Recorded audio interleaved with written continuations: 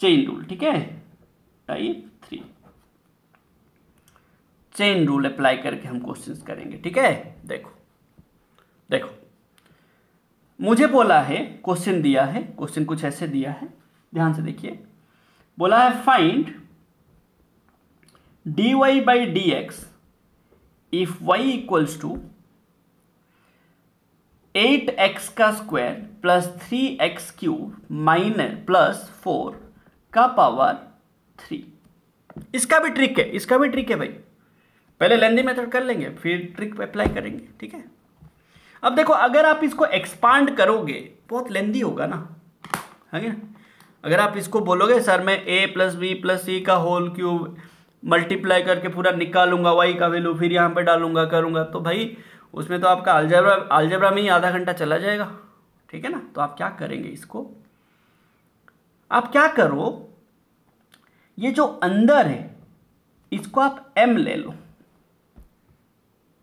ठीक है? लेट तो लेट मैंने क्या किया? M equals to eight x square plus three x cube plus four लिया। तो मैं इसको क्या लिख सकता हूँ? वाई इक्वल टू लिख सकता हूँ एम क्यूब एंड एम यहाँ पे कांस्टेंट नहीं है। ध्यान से देखो। नीचे कौन है? एक्स तो यहाँ पे एक्स मेरा वेरिएबल है। है कि ना? एक्स मेरा वेरिएबल है। अगर आप देखो, एक वेरिएबल से जो बना होगा, वो तो वेरिएबल है ना। वाई वेरिएबल क्यों है? क्योंकि वाई एक्स को लेके बना है। समझ रहे हो? मतलब यहाँ पे, देखो, नीचे मैं बोला आपको, नीचे जो होता है, वो वेरिएबल होता है। तो अभी यहाँ पे एक्स वेरिएबल है। तो एक्स को लेके जो बना होगा, वो भी वेरिएबल है। है कि ना?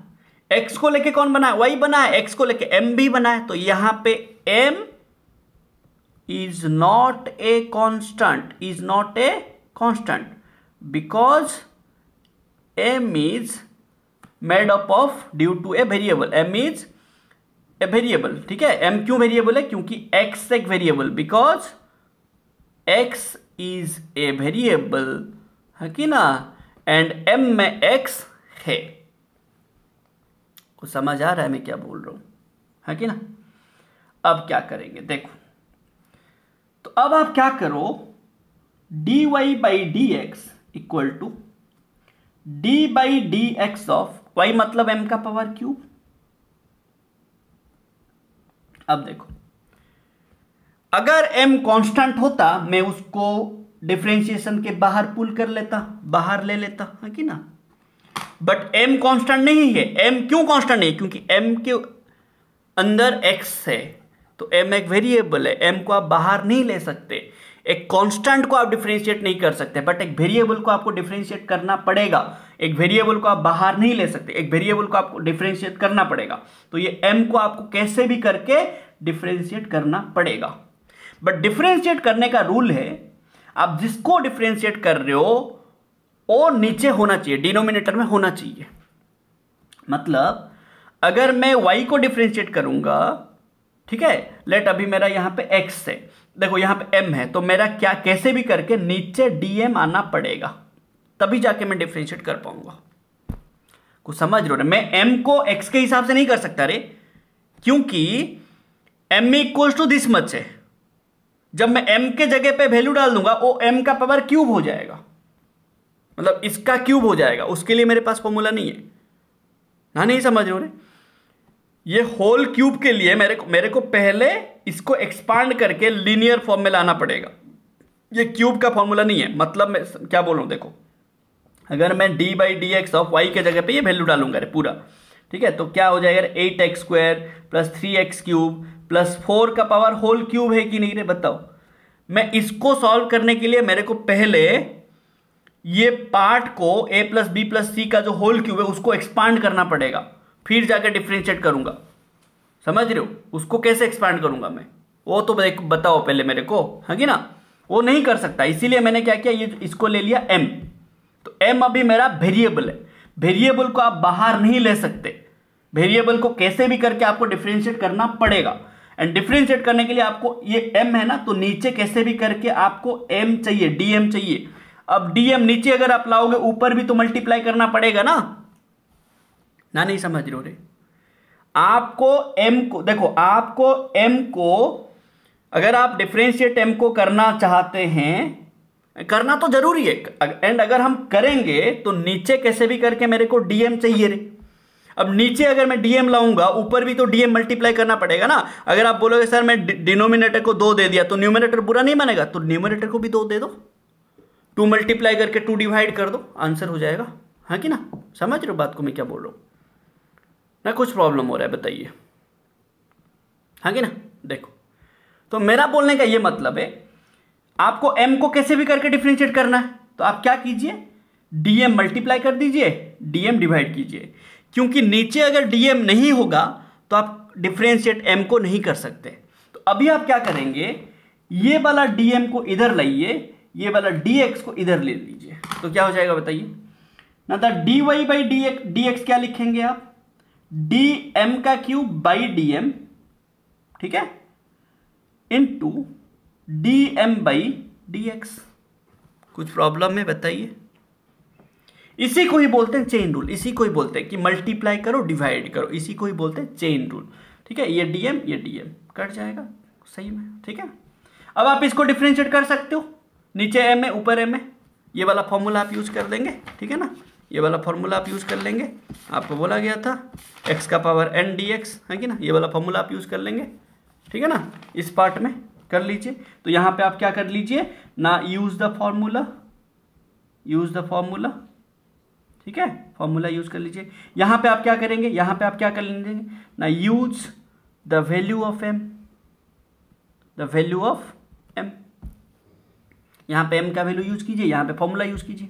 तो क्या हो जाएगा बताइए? ना d y by d x equal to power multiply करेंगे पावर घटाएँगे, क्योंकि सही में है कि ना? तो थ्री एम का पावर घटाएँगे तो क्या हो जाएगा? टू हो जाएगा, है कि ना? Into d by d x of m कितना है? देखो एम कितना है? हम्म एम कितना है? एट एक्स का स्क्वायर प्लस थ्री एक्स का क्यूब प्लस फोर हाँ कि ना रे भाई? अब आप कर सकते हैं ना, यहाँ पे देखो पावर नहीं है। अब आप कर सकते हैं ना? डी बाई डी एक्स को मल्टीप्लाई कर दो सब में तो क्या हो जाएगा? D y by d x equal to three m square sorry three m का स्क्वायर इन टू इसको आप डायरेक्ट आंसर कर सकते हो हाँ कि ना? डायरेक्ट आंसर कर सकते हो। नीचे कौन है? एक्स। एक्स को छोड़ के बाकी जो होगा, कांस्टेंट। यहाँ पे एक्स नहीं है तो एक्स का पावर ज़ीरो। तो डायरेक्ट कर लो, टू इंटू एट। कितना हो जाएगा? Two into eight. कितना हो जाएगा बताओ? Two into eight. Two into eight. Sixteen x plus ये थ्री थ्री जा हाँ nine x square zero into something zero answer तो क्या आ जाएगा रे? ना यहाँ पे d y by d x क्या आ जाएगा? इसका ट्रिक भी है, इसका ट्रिक बताएँगे अभी, ठीक है? डायरेक्ट करेंगे, इतना सारा कुछ झंझट नहीं आंसर क्वेश्चन देखा आंसर लिखा डायरेक्ट करेंगे. सो देखो, क्या हो जाएगा? थ्री इंटू एम क्या था? एट एक्स का square three x cube plus four का power square into sixteen x plus nine x square ठीक है रे? आंसर इतना रख लेना और कुछ नहीं करना, इतना आंसर रख लेना, ठीक है ना? इतना आंसर रख लेना। कुछ समझ आया? नेक्स्ट क्वेश्चन करें? ठीक है? नेक्स्ट क्वेश्चन करें, फिर? ठीक है ना? डायरेक्ट कर लेंगे। अगर आप डायरेक्ट करते तो इसको क्या करते देखो? इसको डायरेक्ट इसी क्वेश्चन को अगर आप डायरेक्ट करते तो क्या करते? क्या दिया था अरे वाई मेरा। वाई क्या दिया था? Eight x square plus three x cube plus four, का पावर क्यूब। क्या पूछा था? D y by d x आपका आंसर क्या आया? आपका आंसर आया d y by d x equals to देखो डायरेक्ट क्या करेंगे? इसको आप एम ले लो। ठीक है? तो ये क्या हो जाएगा? y equals to m cube तो आप क्या करेंगे? डायरेक्ट आंसर थ्री है ना? Three m square d m by d x ठीक है? लेट अभी देखो लेट ध्यान दो। तो ये क्या आंसर आ जाएगा? देखो, क्या आंसर आ जाएगा? तो d y by d x क्या आ गया था मेरा? Three into eight x square plus three x cube plus four का power square d m by d x क्या आ जाएगा? ना d m by d x ठीक है? D m by d x क्या आ जाएगा बताओ? D m by d x क्या आ जाएगा यहाँ पे? Sixteen x plus nine x का square sixteen x plus nine x का स्क्वायर आंसर हाँ? देखो एक क्वेश्चन करते हैं इसी टाइप का डायरेक्ट डायरेक्ट यूज़ करके, ठीक है? डायरेक्ट यूज़ करेंगे। तो देखो लेट दिया। Y equals to eight x cube minus four x square plus forty का पावर माइनस सिक्स ठीक है? बोला? D y by d x निकालिए। क्या हो जाएगा बताओ? पावर कितना है? Minus six. ध्यान से सुनो, डायरेक्ट करेंगे। पावर कितना है? Minus six. पावर कितना है? Minus six. Minus six multiply करो। पावर घटाओ एक। देखो, पावर कितना था? थ्री था। पावर क्या किए? मल्टीप्लाई किए। थ्री का पावर को घटा के क्या किए? टू। सिक्स माइनस सिक्स से पावर घटाओ। घटाने से क्या हो जाएगा? माइनस सिक्स से घटने से क्या हो जाएगा? Minus seven. है ना? तो क्या करो? Minus six into eight x cube minus four x square plus forty का पावर माइनस सेवन ये अंदर का अगर आप m लिए हो, ठीक है, हो गया d m by d x तो d by d x of अंदर जो है, d बाई डी एक्स अंदर जो है, अंदर क्या था? Eight x cube minus four x square plus forty answer तो d y by d x क्या हो जाएगा? Minus six eight x cube minus four x square plus forty का power minus seven into x है ना? Multiply करो three eight जा twenty four x square two four जा एट एक्स एक्स नहीं है ज़ीरो आंसर कुछ समझ पा रहे हो रे भाई? पावर मल्टीप्लाई करो पावर घटा हो अंदर जो है उसको डिफ्रेंशिएट कर दो. आंसर हाँ कि ना? एक क्वेश्चन और करेंगे? एक क्वेश्चन और करेंगे, वो ट्रिक लगा के। बोला है find d y by d t ठीक है? Find d y by d t if y equals to eight t cube minus three x square t square plus four x का पावर माइनस एट क्या बोला मैंने? D y by d t क्या बोला मैंने? Direct करेंगे। Power multiply करो। Power कितना है? Minus eight. जो है, वो लिखो, पावर एक घटा दो। ठीक है? जो है, वो लिख दो। एट टी क्यूब, ठीक है? Minus three x square t square हाँ कि ना? Plus four x. पावर घटाओगे। माइनस एट था। माइनस एट से घट के पावर क्या होगा? वन घटाओगे तो क्या हो जाएगा? माइनस नाइन हो जाएगा। अब अंदर जो है, अब अंदर जो है, उसको डिफ्रेंशिएट कर दो। अंदर जो है, उसको डिफ्रेंशिएट कर दो। तो क्या हो जाएगा? D by d t of अंदर क्या है? Eight t cube minus three x का square t square plus four x कर दो आंसर आ जाएगा।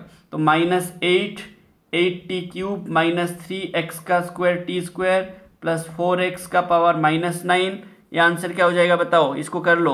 तो ये नीचे टी है टी को छोड़ के बाकी जो होगा वो सब कांस्टेंट होगा। तो एट थ्री जा ट्वेंटी फोर टी स्क्वायर है ना? ये एक्स कांस्टेंट होगा तो ये टी को छोड़ के बाकी जो होगा कांस्टेंट तो टी का पावर कितना है? टू तो टू थ्री जा सिक्स एक्स स्क्वायर टी यहाँ पे टी है ही नहीं तो नहीं है मतलब टी का पावर ज़ीरो तो zero into something zero answer